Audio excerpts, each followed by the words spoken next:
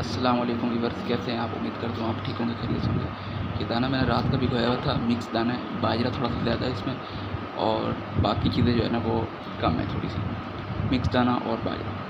तो ये मैं रात को भिगो दिया था तकरीबन ये छः सात घंटे भीगा रहे। और उसके बाद फिर ये नरम हो गया और अब मैंने इसको फिर मिट्टी निकाल के दोबारा से जो आप जाली देख रहे हैं, छलनी, इसे मैंने धो के अच्छी तरीके से फिर दिया इनको। ये पट्टे हैं माशाल्लाह से, एज होगी कोई इनकी, कोई छः महीने के हैं ये, ठीक है।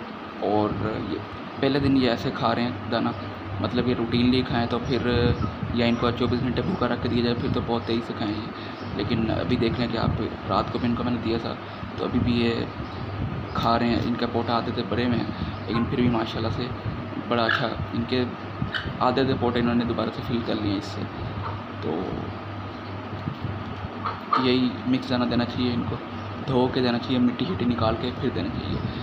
नहीं तो अगर आप ऐसे देंगे बगैर उनको भिगोए और बगैर धोए तो फिर इसमें मिट्टी होती है तो उनके गले में फिर आ जाती है, और जिसकी वजह से काफ़ी मसले मसाले कई दफ़ा इनके मुँह के अंदर और गले के अंदर छाले निकल आती हैं। और कई दफ़ा इनका मैदा ख़राब हो जाता है, कई मरतबा इनका हाजमा जो है ना वो ठीक नहीं रहता मतलब कि सेहत नहीं पकड़ते फिर उससे। तो अगर आप इसको धो के देंगे सही तरह करके देंगे, साफ़ जगह पे देंगे तो फिर ये अच्छी तरह खाएँगे भी और इनको लगेगा भी।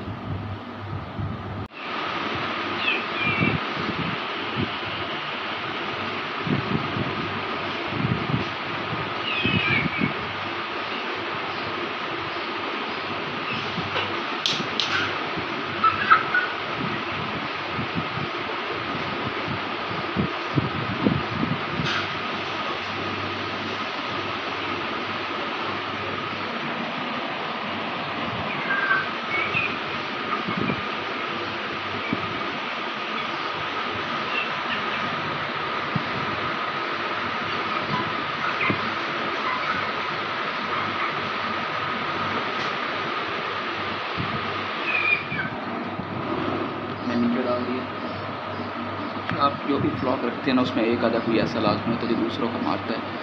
और उससे बस थोड़ा बहुत बचा के रखना पड़ता है। उसमें वो लीडर होता है ना, इसलिए फिर वो कहता है कि पहले मुझे खाना चाहिए खाने दो। लेकिन जब वो मुर्गा बन जाता है तो फिर वो पहले दूसरों को खिलाता है मतलब कि मुर्गियों को, और फिर खुद खाता है। तो ये इनमें क्वालिटी होती है।